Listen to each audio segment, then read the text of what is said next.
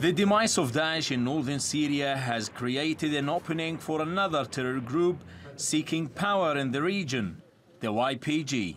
The group is closely linked to the PKK terror group, whose attacks across Turkey has led to the deaths of more than 40,000 people over the past 35 years. The YPG's ultimate goal is to create an autonomous area that links its territories from east of the Euphrates River all the way to the enclave of Afrin near the Mediterranean Sea. We speak to the Americans regularly. We discuss the issue of the YPG terrorist organizations, and we told them that their support for the YPG allows PKK terrorists to gain strength, and this poses an increasing security threat to Turkey. Washington has designated the PKK as a terrorist group, but supports the YPG with weapons and training.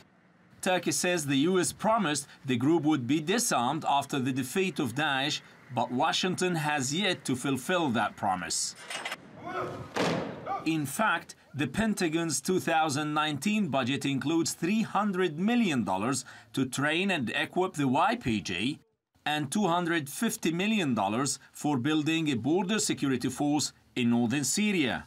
We have very uh, open discussions about options and we will work together and we'll work out any of the concerns. I'm, I'm not uh, concerned at all about the NATO alliance and the relations between our, our nations.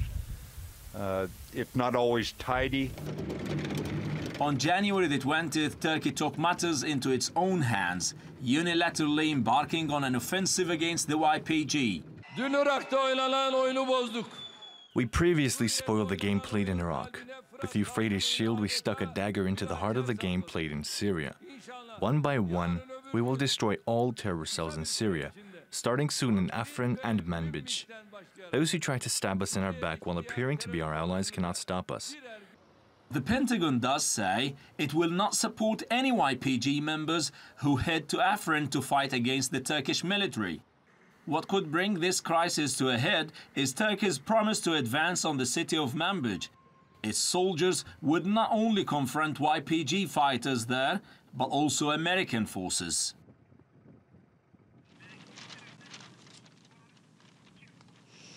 Okay, well, Ahmed is here live with us. So it appears that the battle for Afrin is starting to draw to a close. What is the next step in terms of the push towards Manbij?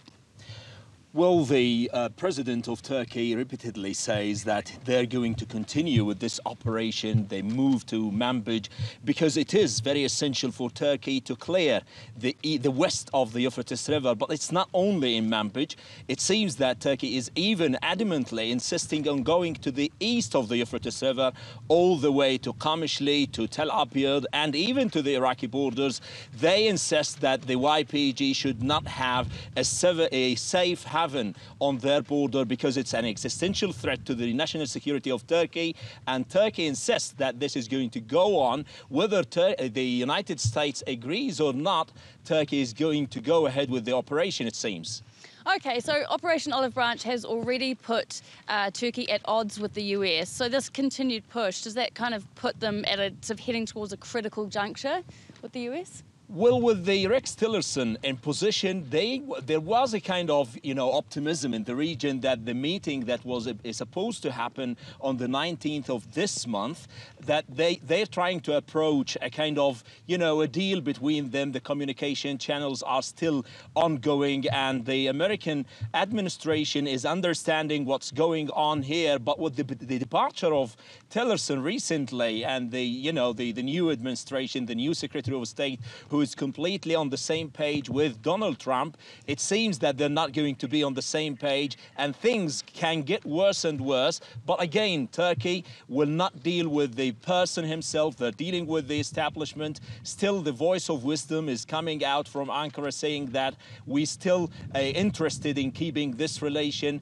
on good terms, but whether the United States is going to treat the same way as Turkey and taking the concerns of Turkey seriously and trying to find a way to negotiate the concerns of Turkey regarding the YPG, that would make things even uh, worse or better, depending on Washington and how they're going to play out in the coming few uh, months or weeks, even. Okay, well, some interesting negotiations and conversations to be had. Thank you, Ahmed, for joining us.